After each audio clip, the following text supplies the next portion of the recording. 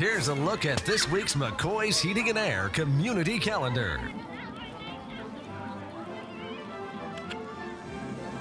All events submitted to Community Calendar can be viewed at WBBJTV.com.